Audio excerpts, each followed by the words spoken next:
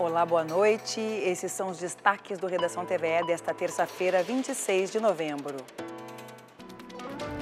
Operação República da FASC auxilia a emancipação de jovens egressos dos abrigos e casas-lares. Assentados urbanos recebem autorização para iniciar reforma de prédio ocupado no centro da capital. Vídeo feito por morador de Cachoeira do Sul cria debate sobre conceito de animal de estimação. E o livro que conta a história do clube criado por Ivone Pacheco, a dama do jazz de Porto Alegre.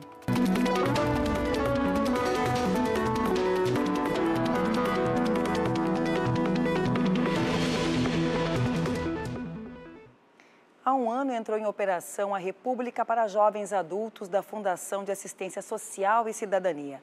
A instituição cumpre uma função de passagem, até que os egressos de abrigos e casas-lares da capital consigam a sua emancipação. O serviço é destinado a pessoas entre 18 e 24 anos. Como numa boa narrativa, na história de cada um de nós, há diferentes lugares, companhias e desafios emocionais. A escrita pode ser suave ou áspera. Quando a trama inclui fortes rompimentos, quebra de vínculos familiares, especialmente na infância e adolescência, o desfecho é incerto e cheio de dúvidas. Eu nunca pensei que ia sobreviver a isso, na entendeu? quatro, rapaz. De tudo que eu passei, entendeu? Acho que é uma coisa bem diferente, uma coisa vivida de se passar. Eu achei que aqui ia ser diferente o jeito de eles me tratarem, por eu ser uma mulher trans. A gente tem esse medo. Aconteceu muitas coisas e tipo é muito difícil para mim e para minha família, né? Aí agora a gente está retornando a conversar, eu com a minha mãe. Camille, Bruna e Carolina se desvincularam da família em diferentes momentos da vida e, após passarem por outras instituições de acolhimento, hoje vivem no bairro Sarandi, na república criada há um ano pela FASC, a Fundação de Assistência Social. Eles têm aqui uh, o entendimento de como é ter uma casa, as obrigações que a sua residência tem. Então, a gente trabalha para despertar essa questão juntamente com eles, né? Sempre temos alguém, né, que vai estar com eles aqui trabalhando. A equipe técnica sempre está presente, né, ou durante a manhã ou a tarde, né? E aos finais de semana nós trabalhamos aí no revezamento por plantões, né? Aqui é que eles começam a adquirir a consciência e entender os porquês da vida. Então a gente tem que ter esse acompanhamento técnico e psicossocial, justamente para fazer essa contribuição. É claro que os desafios são muitos, e é por isso que a, a rede socioassistencial trabalha em conjunto. O núcleo de acolhimento está sempre nos assistindo, seja com uma supervisão, seja com a, a parte do, do, da oferta do serviço. Né? Então, é, é um trabalho gratificante. O sistema oferece 12 vagas. Atualmente, sete jovens vivem na casa. O tempo de acolhimento pode ser de até 18 meses atende a questão da adolescência que se estica um pouquinho, ah, a dificuldade do primeiro emprego, da questão da adaptação e da saída da vida institucional. Já passaram por lá 15 pessoas, oito pessoas já conseguiram tocar sua vida. A gente teve alguns reacolhimentos interessantes, a gente teve pessoas que procuraram, adolescentes que procuraram que eram egressos do sistema de acolhimento institucional, tentaram a vida sozinho, não deu certo e a gente uh, incluiu eles na República. Para ter uma vida autônoma, as meninas estudam e trabalham, vão construindo novas oportunidades para escreverem novos capítulos. Com a minha casa, com meu, meu namorado, uh, com tudo dando certo na minha vida. É, com meu bom emprego, ser fotógrafa. Quando eu cheguei aqui, eu fui tratada de, com respeito, com carinho. Eles me mostraram o que eu posso vencer, o que eu posso conseguir na vida. E eu quero ter minha casa própria. Eu quero eu quero me formar como técnica de enfermagem, mas primeiro tem que acabar a escola, né? Uh, e eu quero trabalhar numa ala psiquiatria. Quero trabalhar, terminar o colégio. Tanto que antes da minha avó falecer, eu tinha prometido isso para ela, que eu ia terminar o colégio ia conseguir minha casa própria. Sonho ser chefe de cozinha. É, tem que sonhar bastante grande, né? E o Centro Social Marista de Porto Alegre seleciona candidatos entre 18 e 23 anos para o programa Jovem Aprendiz. A instituição oferece cursos gratuitos com aulas práticas de jardinagem. Informações pelo telefone 3086-2221, prefixo 51. O prazo para inscrições encerra na próxima sexta-feira, ao meio-dia.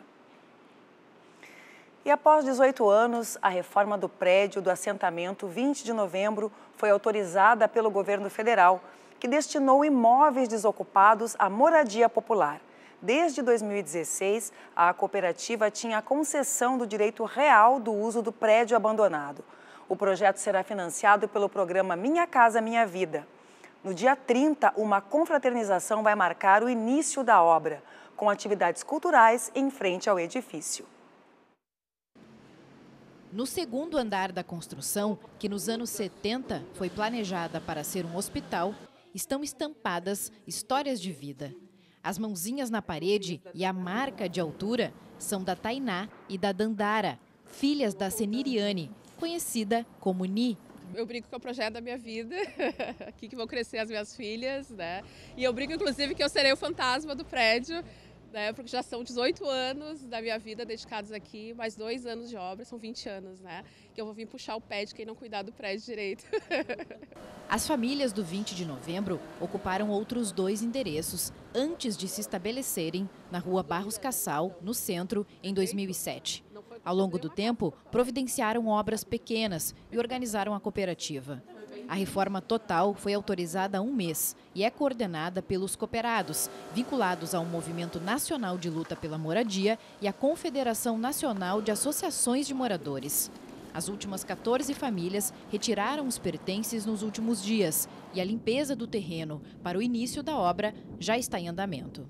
O projeto é para 40 famílias. Famílias que estão nessa luta junto há muitos anos também, que moram de aluguel, moram em ocupações e situações bem precárias, né?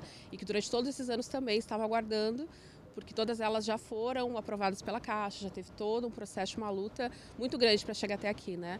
O projeto prevê a construção de 40 unidades habitacionais, com um custo estimado de 200 mil reais cada.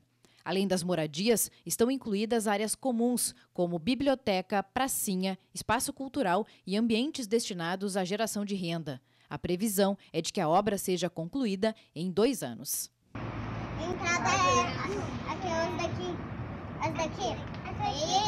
E, e tem por atrás também. A gente venceu muita coisa, né? a conquista do prédio, muita burocracia, porque não foi fácil uma cooperativa que realmente surge de uma ocupação, que surge né, vendendo pão, vendendo cuca, fazendo costura, hoje fazer a gestão de uma obra tão importante né, para o país, né, porque para nós tem essa referência que é bem importante de dizer que é possível. É possível a gente utilizar os imóveis vazios para garantir moradia popular para as pessoas e no território do centro, sim, porque o povo trabalhador também tem o direito de morar na região central e usufruir de toda a infraestrutura. Né? E agora uma boa notícia para a comunicação pública do Estado. A TVE conquistou o segundo lugar no Prêmio Direitos Humanos de Jornalismo na categoria Televisão. A lista foi divulgada hoje pelo Movimento de Justiça e Direitos Humanos. A TVE concorreu ao prêmio com a reportagem 60 anos do golpe, que abordou as seis décadas do golpe de 1964, que depôs o então presidente João Goulart e mergulhou o país em 21 anos de ditadura. Num dos muitos desdobramentos dramáticos do período de exceção, professores da Universidade Federal do Rio Grande do Sul perderam seus cargos e precisaram buscar auxílio em outros países. A reportagem especial é de Lisele Félix, com participação de Daniela Bonamigo, Ancélio Hernandes e Rogério Andrade. E a cerimônia de entrega do Prêmio de Direitos Humanos de Jornalismo acontece no dia 10 de dezembro em Porto Alegre. Foi inaugurado hoje em Pequim o estande do Rio Grande do Sul na China International Supply Chain Expo, considerado um dos maiores eventos do mundo voltado à cadeia de suprimentos. O evento fez parte da agenda oficial da missão do governo gaúcho na Ásia. O espaço apresenta o potencial do Rio Grande do Sul em setores estratégicos como agronegócio, energia renovável, tecnologia e infraestrutura, com o objetivo de destacar as vantagens competitivas do Estado. Durante a cerimônia de abertura, o governador Eduardo Leite afirmou que a presença no evento é uma oportunidade para conectar o Rio Grande do Sul ao mercado global, além de promover e consolidar parcerias estratégicas. Ele fez uma apresentação sobre o Estado para uma plateia de centenas de pessoas, com a presença do governador de Hubei, província chinesa que tem um protocolo de irmandade firmado com o Estado. No primeiro dia da feira, a comitiva gaúcha também realizou reuniões bilaterais com representantes de empresas chinesas para apresentar projetos como a expansão de parques eólicos e o fortalecimento da cadeia de exportação de grãos e carnes. Nós vamos agora a um breve intervalo e na volta tem a previsão do tempo.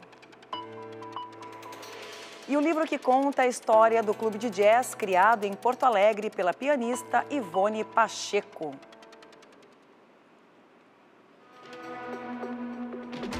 Na capital gaúcha, mais um dia de céu cinzento e muito abafado. Neste momento, no alto do Morro Santa Teresa, temperatura na casa dos 26 graus.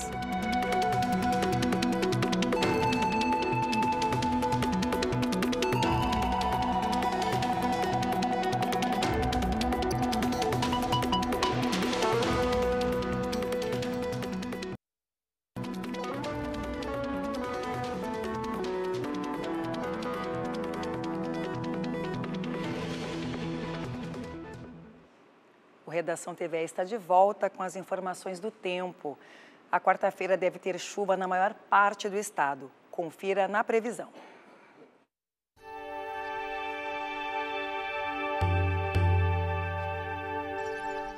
Um sistema de baixa pressão se somou à frente fria. Com o fenômeno, a tendência é de precipitações em quase todas as áreas.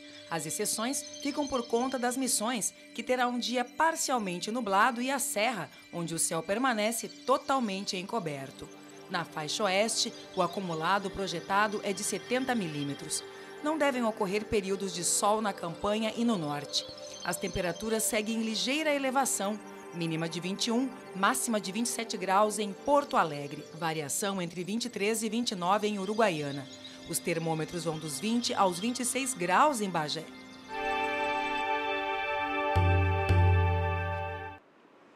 E atenção, moradores de 11 bairros de Porto Alegre podem ficar sem água amanhã. O motivo é um desligamento programado no sistema de abastecimento Moinhos de Vento o Departamento Municipal de Água e Esgotos comunicou que a manutenção é necessária, já avisando o início do verão. A lista comple completa dos bairros afetados você confere no site da Prefeitura. Um vídeo que circulou pelas redes sociais deu o que falar no município de Cachoeira do Sul, na região central do estado, e abriu uma interrogação. Qual o limite para determinarmos que tipo de animal pode ser considerado um pet? É o que o tal vídeo mostra uma cobra que foi levada para passear, dar uma esticada no centro da cidade. A reportagem é da TV Cachoeira. O vídeo de 40 segundos repercutiu nas redes sociais durante o final de semana. A cobra da espécie jiboia aparece em um banco da Praça José Bonifácio bem no centro de Cachoeira do Sul. O vídeo foi gravado durante a noite. Não havia circulação de pessoas. Logo que foi postado, muitos acreditavam que o vídeo era montagem. Vocês viram esse vídeo aqui? Sim. Sim. Você sabe onde é que é isso? Aqui. Naquele banco Naquele ali. banco ali. O que, que a senhora acha sobre esse vídeo? Ah, eu vou te dizer assim, ó, eu achei legal. Eu, eu achei legal porque é uma coisa que a gente não está acostumado a ver na cidade. Até nem sabia que tinha pessoas que cultivavam a, é uma jiboia até, isto. Eu, eu gostei do vídeo, achei legal, achei bem legal mesmo. Não sendo um animal de, de risco, que traga perigo pra gente. O que, que o senhor acha desse vídeo aqui? Bah, aonde isso aqui? Sabe onde é que é isso? Não. Ali, ó. Ali, mas que você vendo, mas que barbaridade. Eu analisei o vídeo, primeira coisa, eh, foi gravado de noite, vocês notam que não tem nenhuma pessoa, então foi de madrugada. É, eu acho que não, não houve crime nenhum, não houve maus tratos, o animal está bem tratado, foi uma brincadeira. a pessoa que, que, a proprietária desse animal, é uma pessoa que tem toda a documentação em dia, e eu notei um grande preconceito contra os ofídeos. É, que bom que as pessoas tratassem as cobras como essa pessoa trata. É legalizada, tem microchip, é minha cliente, é muito, muito bem tratada e agora às vezes por ser uma cobra, eu acho que se fosse um, um ratinho branco, se fosse um, um qualquer outro animal não ia ter essa repercussão grande. A famosa jiboia é do cachoeirense Leonardo São Martim. Ela tem quatro anos e já saiu outras vezes para passear aqui pelo centro da cidade. Por telefone, o proprietário da cobra se mostrou surpreso com a repercussão do vídeo. Eu tenho animais, né? Tenho outros animais também, tenho três serpentes, um sapo e uma coruja. Eu sempre costumo levar mais a coruja para passear, né? que é o super é indicado, né? Que nem um cachorro, vamos supor. Quanto mais eu passeio com ela, né? Melhor. Toda hora eu posto, né? No meu Instagram ali. Uhum. Um vídeo ou outro, né? E aí postei sem, sem. Nunca imaginei que fosse dar a repercussão, né? Que deu. Sobre a legislação, a resolução do Conselho Nacional do Meio Ambiente, número 498, do ano de 2018, estabelece que animais da fauna silvestre podem ser mantidos como animais de companhia somente se o proprietário estiver em conformidade com as exigências legais, regulatórias e com autorização dos órgãos ambientais. E agora uma notícia triste para a cultura gaúcha. Foi sepultado esta tarde em Caxias do Sul o professor e escritor José Clemente Pozenato. Ele morreu ontem à noite, aos 86 anos, devido a complicações decorrentes de um procedimento cardíaco. Natural de São Francisco de Paula, Pozenato era formado em filosofia e doutor em letras. Foi integrante da Academia Rio Grandense e da Academia Sul-Brasileira de Letras. Também presidiu o Conselho de Cultura do Rio Grande do Sul e, em setembro de 2022, foi agraciado com a medalha Simões Lopes Neto, uma das maiores honrarias do Estado. Entre suas obras está o Quatrilho, que narra a saga dos imigrantes italianos no Rio Grande do Sul, e ganhou uma adaptação para o cinema, indicada ao Oscar em 1996. A Prefeitura de Caxias do Sul, onde Pozenato morava e foi secretário da Cultura, decretou luto oficial de três dias. Ela não tem nada de especial. Noi siamo arrivati, noi abbiamo trovato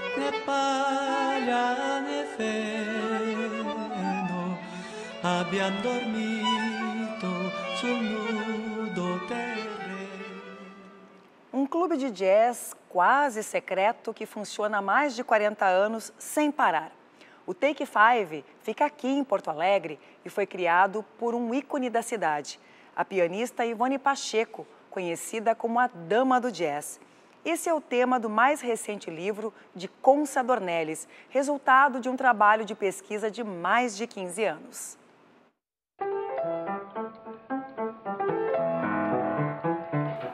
ela já não toca mais no porão da casa do bairro Petrópolis. Mas tudo está do jeitinho que ela planejou quando decidiu mudar de vida e trilhar uma carreira no jazz aos 50 anos. Foi só nessa idade que Ivone Pacheco se tornou um ícone da noite porto-alegrense, mas já sabia tocar desde pequena. Quando eles chegaram no hotel que esse meu, meu avô adquiriu, isso no centro de Porto Alegre, Hotel Metrópole, na Andrade Neves. Ela já foi direto, disse que tinha um piano no hall do hotel e ela já foi direto teclar e ficar dedilhando, enfim. E aí, com o tempo, disseram: ah, tem que fazer aula de música. E ao, ao, com oito anos ela começou com aula de música, acordeon e piano. E nunca mais parou. Fez toda a formação musical, se formou em música pelo Liceu Musical Palestrina foi professora de música em escola municipal e aos 50 anos, né, descobriu que sempre foi artista. Os filhos crescidos, resolveu colocar um ponto final na vida doméstica e transformou o porão da casa da família no Take Five, clube de jazz. Começou a receber músicos e convidados. Também passou a se apresentar mundo afora. Nós éramos terminando a adolescência, então, tipo assim, o que, que aconteceu com a mãe? Que não era mais aquela mesma pessoa que cuidava dos filhos, era tudo certinho, no horário certo, toda comportada e de repente ela modificou. A gente sempre soube que a mãe era diferente, né? Que eu acho que ela era uma artista, mas eu acho que ela estava amarrada, né? Em questão de criar os filhos, casamento. Então foi meio dúbio para nós essa as duas mulheres que se que apareceu mas no início a gente foi resistente e depois abraçamos a causa. Essa história é contada no livro A Lenda do Jazz Ivone Pacheco, de Consa Dornelles. A obra é dividida em duas partes. Na primeira, conta a vida da artista e do Take Five a partir de uma pesquisa em recortes de jornais. Na segunda, dá voz àqueles que dão sentido ao clube, músicos e amigos. Uma mulher especificamente também falando de mulheres, né? Que ela, ela mudou um, um certo perfil das mulheres de Porto Alegre naquela época já. Era lindo chegar aqui e ver, a, assim como ela era rebelde, eh, dinâmica, super artista, ela encantava as pessoas, né, pelo jeito dela. Então tinha que essa história constar, né, para sempre, né? Ivone se despediu do Porão em 2022, aos 90 anos, e desde então vive no andar de cima. Mas o clube segue funcionando sob os cuidados da filha Rosa Maria. O mascote, o Jazz, está sempre ali para recepcionar o público.